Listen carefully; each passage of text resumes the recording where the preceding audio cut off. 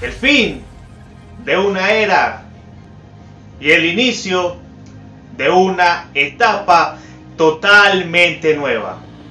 Hoy, la llegada de Kyle Roddy Bush a Richard Childress Racing en zona de pits.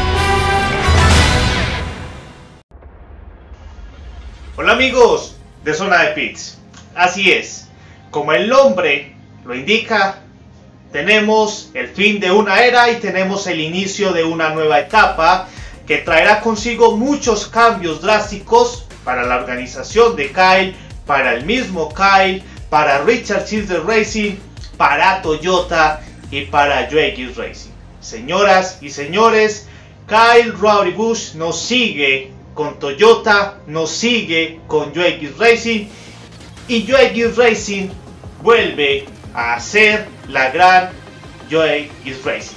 Se preguntarán ustedes por qué. Sencillamente porque repiten la historia, repiten sus hazañas, repiten las situaciones que en algún momento hicieron y dejan ir una estrella. Dejan ir un piloto histórico dejan ir un piloto que les dio de todo, que les dio la primera victoria a Toyota, que les dio el primer título a Toyota en la máxima división, que les dio literalmente un crecimiento desde las camionetas, desde las tracks, pasando por Xfinity, victorias en Xfinity y ahora títulos en Cup y lo dejan ir. Y lo dejan ir. Y no es la primera vez que sucede. Y no solamente se va a caer, se va su organización de las tracks, se va un legado con él. Y Joe Racing vuelve a repetir la gran Joe Racing. Dejaron ir a Bobby Labonte, no quiso eh, renovar contrato en su momento el piloto. No solamente porque quería hacer su propio equipo, sino porque sintió que las garantías no eran las adecuadas dejaron ir a Tony Stewart. Es más, extrañamente Tony Stewart salió a formar su propio equipo, pero no quiso contar con el respaldo de Toyota, sino que inmediatamente se fue con Chevrolet. No renovaron o no le ofrecieron garantías al señor Carl Edwards, ustedes lo, recordarán, al primo Edwards, y el día que anunció su retiro sin más preámbulo, presentaron a Daniel Suárez. No le ofrecieron un contrato de renovación a Matt Kenseth en su momento, que inclusive el piloto llegó a decir yo estaba esperando que me lo ofreciera para continuar y finalmente Kenseth se retira. A Daniel Suárez lo sacan de la puerta de atrás sin darle espera de, consolidarse como piloto en la máxima división. Lo hemos hablado. Un piloto normalmente necesita un año o dos años de adaptación para empezar a dar resultados.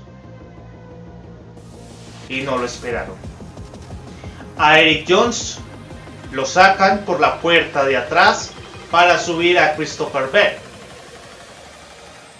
Y hoy a Kyle Rodriguez dicen que no pudieron contenerlo, que no hubo forma de conseguir un sponsor cuando históricamente en NASCAR hemos visto, y más en las últimas temporadas, que todo es posible.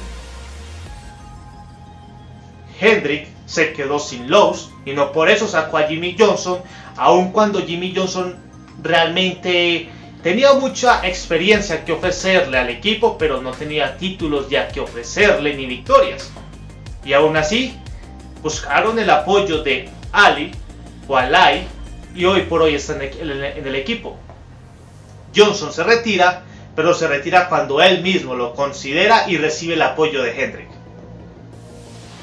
Larson llega a la organización, al mismo Hendrick sin sponsor. Hendrick le dice vamos a ver qué hacemos, pero te quedas conmigo.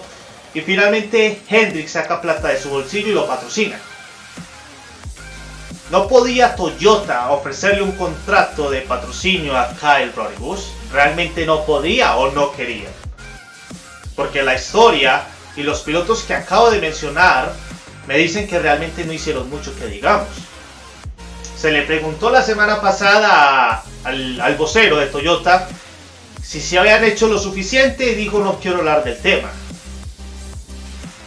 Y hoy Richard Childress Racing hace todo lo que puede por llevarse.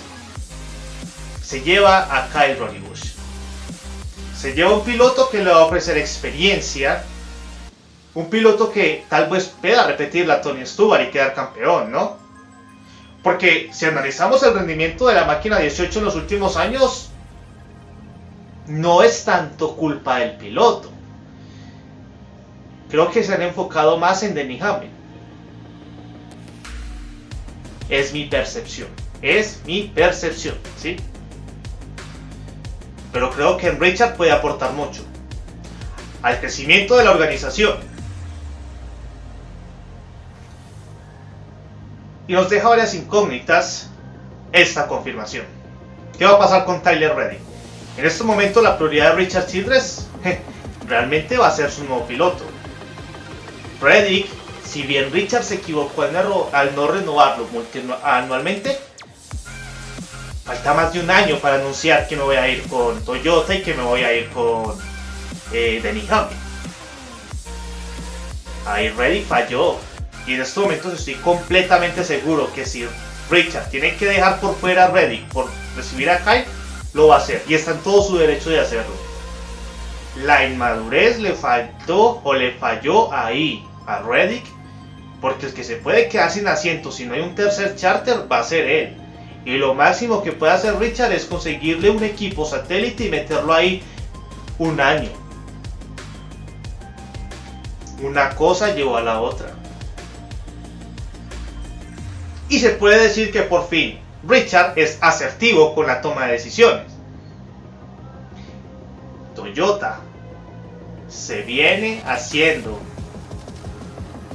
el harakiri desde hace años porque no contienen la experiencia y se dedican a traer pilotos jóvenes.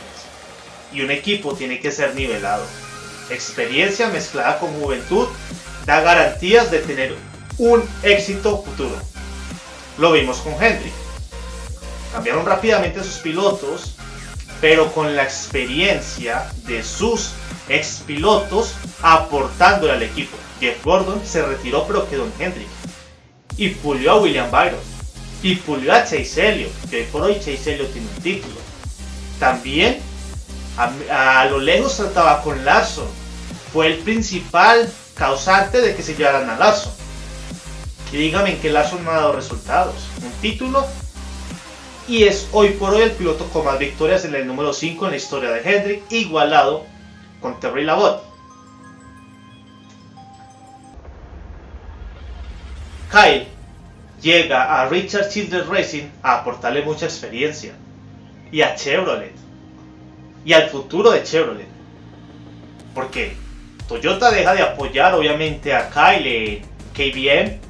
KBM pasa a ser eh, Chevrolet.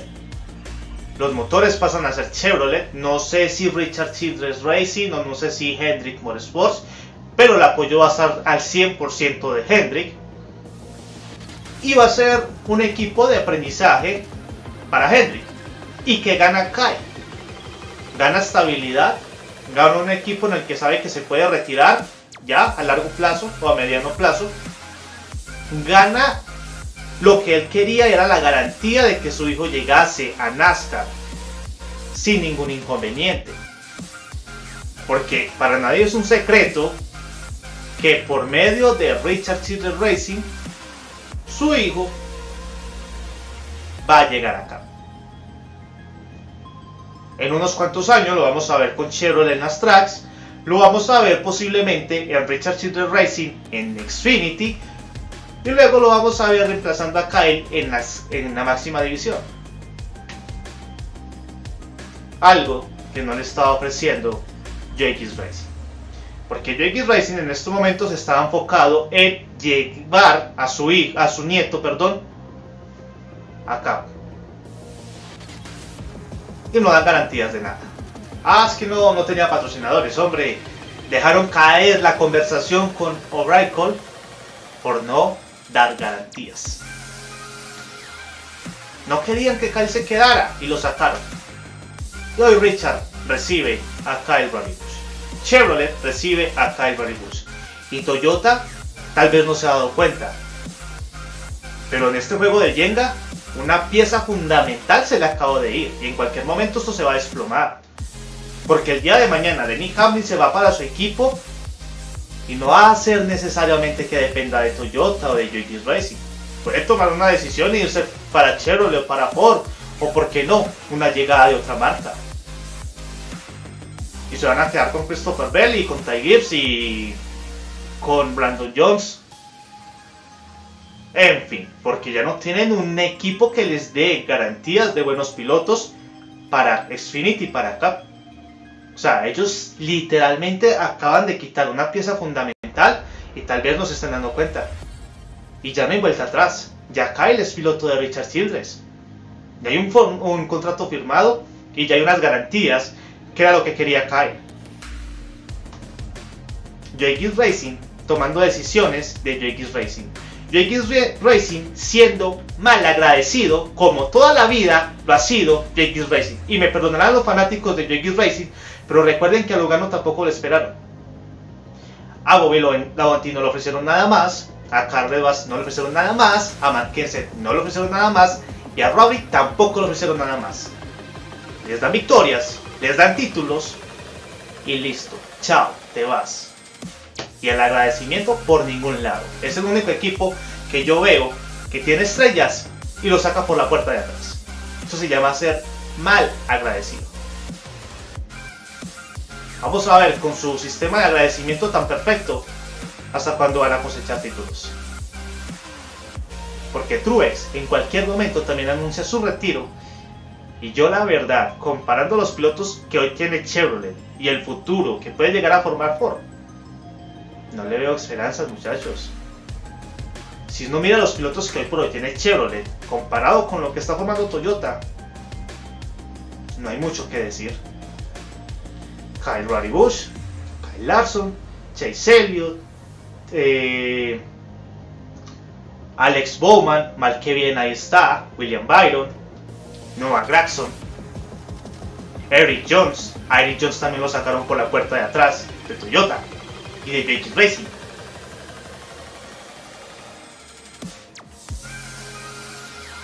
Ross Chastain, Daniel Suárez que ya está dando resultados. y Toyota que, tiene para mostrarnos a Denny Hamlin con su organización, a Darrell Wallace que no es que tenga super talento, hay que ser francos, ¿no? A Kurt Busch que en cualquier momento se retira, a Ty Gibbs que para mí es más lo, lo sobrevalorado de esta temporada que lo que puede hacer. Y Ty Gibbs no se puede enfrentar solo a los pilotos de Chevrolet ni a Briscoe, ni a Harvey, que en cualquier momento también se puede retirar, pero pueden llegar a tener pilotos interesantes en Ford. Ni a Lugano, ni a Ryan Blaney, en fin. En fin. Mientras que por otro lado, es mucho lo que gana Chevrolet en sus deseos de formar pilotos. Kyle Busch Motorsport cambia a Chevrolet desde sus inicios en Arca hasta la máxima división. Interesante. Y bueno chicos, eso ha sido todo en Zona de Pits. Gracias por estar con nosotros. Que tengan una excelente semana. Vivan NASCAR, vivan por fin las buenas decisiones de Richard Childress Racing, llevando pilotos estrellas a formarlo, a ayudarlo porque Kyle le puede aportar mucho a un piloto como Sheldon Creed, a un piloto como Austin Hill. No sé si a Austin Dillon, tal vez sí, ¿no? Y por fin se le dio una carita interesante a Richard. Y mala por JX Racing. Muy mala. De verdad. Qué pena me da. Que tengan una excelente semana. Viva NASCAR. Los quiero. Y chao, chao.